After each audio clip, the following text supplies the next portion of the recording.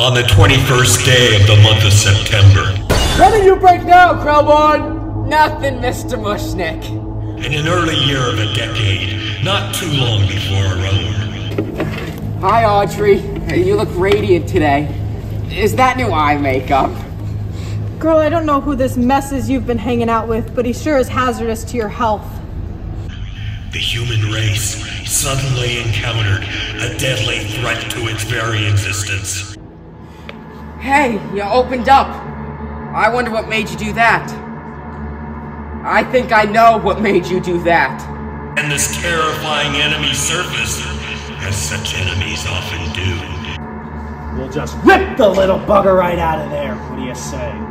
in the seemingly most innocent and unlikely of places.